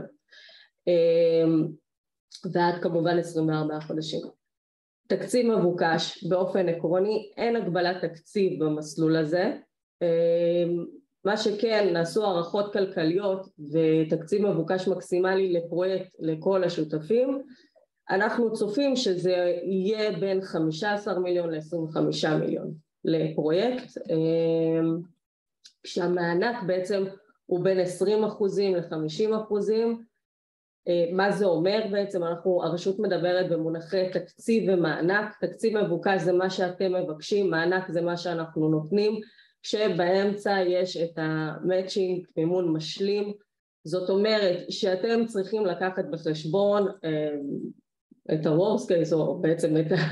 זה, זה גם, לצד השני זה גם הדבר החיובי, אה, כשאתם מקבלים 20 אחוז זאת אומרת שאתם צריכים להשלים 80 אחוז וצריכה בעת הגשת הבקשה צריכה להיות לכם יכולת מימון משלים זאת אומרת אתם יודעים שאתם מגישים את הבקשה ויש לכם איך לממן את ההשלמה הזו אה, כמובן למלא את כל הנתונים והשדות בטפסים, אה, כל הנתונים צריכים להיות זהים, דיברנו על זה. אז מבחינת המערכת המקוונת, כן צריך לפתוח user, תפתחו בעוד מועד, אה, תבינו שגם בתוך הטופס המקוון צריך למלא פרטים, אל תגיעו לדקה 90 בסדר מסמכים מוכנים, אבל הפרטים, אה, אין, אין בידיכם את הפרטים הרלוונטיים מבחינת נתונים פיננסיים וכו', ואז לא מספיקים למלא את זה ו, אה, וחבל. אז באמת לפתוח, אה, אפשר לערוך אגב את הבקשה, זו, זו לא בקשה שנמחקת, אתם יכולים לערוך אותה כל הזמן עד שאתם שולחים, עושים send אלינו ואז זה מגיע אלינו ואי אפשר לערוך יותר. אבל עד אז אתם יכולים אה, למלא, תפתחו יוזר, יש לנו תמיכה טכנית באמת אחלה שיכולה לתת לכם מענה אה, אה, לדבר הזה ותעזרו. אה, בסוף הבקשה המקוונת צריך בעצם להעלות את הצרופות שדיברנו עליהם בשקף 6, אה, למלא הצהרות, אה, שוב זו בקשה מקוונת, אני מניחה שאתם מכירים את זה מהגשות אחרות. אז תקופת ביצוע אה, בעצם דיברנו, זה בעצם התקופה, אולי נעשה איזה closure בעניין הזה, שזאת בעצם התקופה שבה הרשות מכירה בהוצאות, זאת אומרת אם ביקשתם מספטמבר עד אוגוסט 23, ספטמבר 22 עד אוגוסט 23, אז זאת התקופה בעצם שהרשות מתייחסת להוצאות שאתם צריכים לביצוע המשימות המבוקשות שלכם. עם, כמובן שאי אפשר להכיר בדיעבד לחודש הגשת הבקשה, אבל תתחמו את זה, תבינו איזה משימות אתם הולכים לבצע בתקופה הזו אה, ו, ולפי זה בעצם תמפו את ההוצאות גם פר משימה. אה, דיברנו על תקציב מבוקש ומצ'ינג, כמובן בהתאם לתקרות המותרות במסלול, תכף נדבר על ההוצאות המוכרות, גם על המימון המשלים, נרוץ הלאה, יש פה שקף שמסביר בעצם אה, מה זה אומר מבחינת מימון משלים ומה אה, מאושר ומאיזה מקורות זה יכול להגיע, אז משקיע חיצוני, השקעת בעלי מניות וכו'. אז הכרה בהוצאות, זה כן שקף חשוב, הוא כן, אה, שימו לב ש... באופן כללי, ההוצאות מפורטות גם בנוהל 202 וגם שזה נוהל דיווח בהוצאות אה, אה, כספיות של הרשות וגם בנהלי המסלול. כן חשוב לעבור על הנהלים האלה טוב טוב לפני. כן חשוב להפריד בין הוצאות שקשורות להשקעה הונית בעצם לבין הוצאות מו"פ אה, שקשורות לפרויקט הספציפי שאתם מגישים אליו. אז באמת אנחנו מכירים בהוצאות של אה, כוח אדם, אה, לתכנון אלמנטים מודולריים, שינוע אלמנטים לאתר, לגבי רכישת ידע בטכנולוגיה נבחרת, אני אגיד לכם תכף איפה רושמים את זה, אבל לפני זה אני ככה בכוכבית, זה, רכישת ידע זה משהו שמופיע בכמה מסלולים ברשות, אבל אה, אנחנו מנסים בימים אלו להכניס את זה לנהלים של המסלול אה, הספציפי שלנו אה, ואנחנו כמובן נעדכן את החברות ברגע שזה יופיע בתוך הנוהל. אז בחרנו כן להכניס את זה כי כיוון חיובי. אז ככה סעיפי הוצאה מוכרים זה סעיף כוח אדם זה אה, עובדים לצורכי הפרויקט שמועסקים בהעסקה ישירה שזה בעצם ההבדל בין סעיף קבלני המשנה הבא בארץ או בחו"ל ששניהם מבצעים פעילות במסגרת התוכנית אבל בין אחד מתקיימים יחסי עובד מעביד ובין השני לא מתקיימים יחסי עובד מעביד שזה קבלני המשנה. אה, יש גם אה, בסעיף כוח אדם יש גם חליף כוח אדם שזה מתקיימים יחסי עובד מעביד אבל משולם בחשבונית ובכלל בכל גיליון אקסל יש פירוט מתחת לגיליון באותו גיליון אה, של אה, תקרות. זאת אומרת במה הרשות גם אה, מכירה מבחינת תקרות ומה אתם צריכים לסמן. האקסל מאוד ברור אבל אם יש שאלות לא להסס לשאול זה פשוט לא לטעות בזה סעיף חומרים, אה, בעצם מדובר על חלקים או רכיבים שנדרשים לייצור אבות טיפוס או חומרים מתכלים, שימו לב להבדל כי תכף נגיע לציוד, שנצרכים במלואם במהלך התוכנית. אה, דוגמה שרלוונטית אלינו זה פיתוח אב טיפוס של יחידה מודולרית כולל חומרי בנייה לשימוש באתר הייצור. סעיף ציוד לעומת זאת, זאת זה רכוש קבוע שלא מתכלה ולא נצרך במלואו בתקופת הביצוע המאושרת. אה, יש פה הכרה בפחת בשיעור של 33% מעלות הרכישה, אה, לדוגמה מכונת אה, CNC המשמשת בייצור יחידות מודולריות. סעיף ציוד יהודי זה בעצם הרכוש הקבוע שמשמש רק לצורכי התוכנית הספציפית. זה לא משמש לתוכניות אחרות, לפרויקטים נוספים של החברה, וכאן אנחנו לא מכירים בפקט אלא במאה אחוז מעלות הרכישה. אם אתם זוכרים שאמרתי לכם לבחור באקסל בגיליון הראשי אה, את המסלול הרלוונטי אז בהרבה מאוד מסלולים של הרשות לא מופיע, אין הכרה בציוד יהודי ולכן כן חשוב שוב לבחור את המסלול הרלוונטי שיפתח לכם הגיליון הזה. אה, דוגמה לזה זה מנוף ייחודי שמשמש להנפת יחידות מודולריות לגובה סעיף התאמה ותיקוף מוצר לשוק זה בעצם אה, צרכים יותר שיווקיים אה, שהוצאות שקשורות להגדרת מוצר, אה, התאמה לשוק החדש, פעילות עסקית, להשיג לקוחות, משתמשים ראשונים בצורך של חדירה לשוק, ביצוע סקרים מחקרים שיווקיים עבור אפיון המוצר בקהלי היעד, גיבוש בכתיבת תוכנית עסקית, גם נסיעות לחו"ל מוכרות פה לצרכים הללו כמובן שזה צריך להיות בקשר ישיר מאוד לפרויקט. וסעיף שונות, שכאן נכנס גם הנושא של רכישת ידע שדיברנו עליו, אנחנו מכירים בסעיף שונות בשכירת ציוד, רישיונות שימוש בתוכנה להבדיל מרכישת ידע, רישוי ניסוי שדה, בדיקות תקינה, רישום פטנטים, רכישת בסיסי נתונים ושינוע. לנושא, בוא נגיד פחות נחמד, שזה נושא התמלוגים, יש לנו כללי תמלוגים ברורים לרשות שזה נוהל 200-03 בהוראת תמלוגים. זה אומר כשיש הכנסות מהידע שזה מוצר או שירות שממומן על ידי הרשות במסגרת תוכנית מאושרת החברה משלמת תמלוגים מסוימים בשיעור של בין שלושה עד חמישה אחוזים זה נקבע גם לפי גודל חברה עד, גודל, עד גובה סליחה המענק פלוס ריבית שנתית. יש כאן עוד נושא של מקרה של השכרה, החכרה או מכירה של אתר הרצה, יש כללי החזר מעט שונים שזה גם מופיע בנוהל 203 לעניין מכירת מוצר מו"פ, אב טיפוס וכאן גם יש הבחנה בין הכנסה ממוצר מו"פ בתקופת, בתקופת המו"פ בעצם לבין הכנסה לאחר התוכנית המאושרת זה חייב בתמלוגים בשיעור רגיל בתוספת חלק יחסי של סכום המענק שישמש לייצור מוצר מו"פ. אני כן אגיד פה שזה נושא מורכב ואנחנו לא רק שנשמח שתדברו איתנו עליו אנחנו גם ככה דיברנו, יש מחלקה, מחלקת תמורה, שזו מחלקה שמתמחה בנושא התמלוגים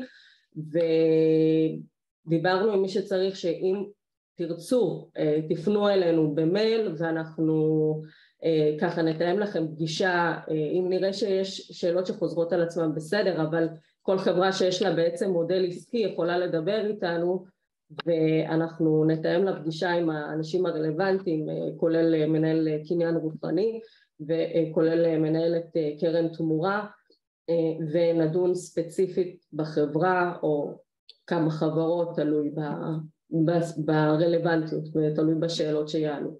אז כן תפנו אלינו וכן תפנו אלינו בכל דבר שעולה לא לחכות לרגע האחרון ובאמת גם בשאלה של תשלומים יש מחלקות רלוונטיות שמתעסקות בזה ואני חושבת שאנחנו מנסים לתת את ה... לצד כל הבירוקרטיה אנחנו מנסים גם לתת את השירות הכי טוב וכן לעזור לחברות ובסוף אנחנו רוצים שתגישו ותגישו כמו שצריך ושכמובן נוכל לסייע לכם כמה שיותר. אני חושבת שרק משהו ממש אחרון כשמגישים בקשה באופן מקוון הבקשה מגיעה למחלקת קליטה עושים איזה בדיקה טכנית אם הבקשה נדרשת בהשלמות ותיקונים אז אנחנו מבצעים איזשהו מחזירים לטיוטה בעצם את הבקשה ושולחים הודעה מפורטת על התיקונים שנדרש לבצע. מה שכן איש הקשר חייב להיות זמין גם לתהליך הקליטה וגם לתהליך הבדיקה. אז אל תשימו איש קשר שטס לחו"ל ולא זמין ולא רואה את המיילים האלו כי גם זה יכול לגרור אי הגשה בזמן. ואם הבקשה נמצאת תקינה קולטים יש לנו כמובן אתם מקבלים מספר תיק וזה מלווה אתכם בעצם לאורך כל התהליך עד הסגירה. התהליך לוקח בערך ארבעה ימים עד שאתם מקבלים תשובה זאת אומרת שהבקשה נקלטה. וזהו. תודה רבה לאדווה, תודה רבה לכל הדוברים שהיו איתנו היום. על כל השאלות ענינו בצ'אט וב-Q&A תוך, תוך כדי אם יש עוד שאלות בהולות אתם מוזמנים לרשום אותם עכשיו. אני מפסיקה את השיתוף. ובאמת כמו ששלחתי בצ'אט עצמו שלחתי את הקול הקורא, תיכנסו לקול הקורא, תיכנסו לעמוד המסלול, לנהלים הרלוונטיים. יש לנו עד ה-18 באוקטובר לעשות את ההגשות לקול הקורא הזה הוצאות צריכות להיות באמת כאלה, תבחינו בין ההוצאות ההוניות, למשל הייתה שאלה לגבי המגרש, המגרש הוא לא חלק מההוצאות המוכרות לתוכנית הפיתוח, אבל בהחלט יכולות להיות הרבה הוצאות מוכרות שהן מסתכמות לבניינים שהם, שהם בסופו של דבר יעזרו לנו לעשות את אותה הדגמה טכנולוגית המטרה שלנו היא להגיע באמת למספר בניינים בודד בהתחלה, בשלבים הראשונים בישראל שיעמדו ויוקמו מלכתחילה ולא כתוספת בנייה אלא מלכתחילה יוקמו כבניין בשיטה המודולרית על מנת שנוכל לפרוץ את כל החסמים ובאמת להגיע למצב שבו יש הבנה, מדיניות ותשובות ברורות על איך בונים בשיטה המודולרית בישראל, כך נוכל למנף את זה לעוד הרבה בניינים בהמשך. אני מקווה שהיה לכם הרבה אינפורמציה בעצם שהצלחתם להוציא ממנה את המירב, כמו שאמרנו המצגות יפורסמו ואתם מוזמנים לפנות גם למכון לחקר שיטות הבנייה לפרופסור רחל בקר ולפייסל וואלי גם למשרד הבינוי והשיכון, ליוני ולמיכל הרן, גם אלינו ברשות החדשנות ואנחנו מקווים שבאמת נראה בקשות איכותיות ומקצועיות ובאמת נצליח לפרוץ את התחום הזה. אז תודה רבה לכל הדוברים ושיהיה בהצלחה לכולם. רק תודה, תודה רונית, אפשר, אפשר רק מילה? כן. הפניות ובקשות מופנות לאתר, ליחידה לאישור שיטות הבנייה ישירות אלינו ואנחנו מעבירים את זה לצוות המקצועי שכמובן פרופסור רחל בקר היא המומחית הקבועה והמובילה בתחום הזה אבל בשביל לא להעמיס עליה דברים שלא קשורים אליה אז כל הפניות והבקשות יופנו ישירות למכון לאומי לחקר בנייה, ליחידה, הפרטי קשר יש שם, את המיילים וטלפונים, ומשם אנחנו מבטאים את הבקשות. מצוין. תודה רבה. תודה רבה לכולם, בהצלחה לכולם.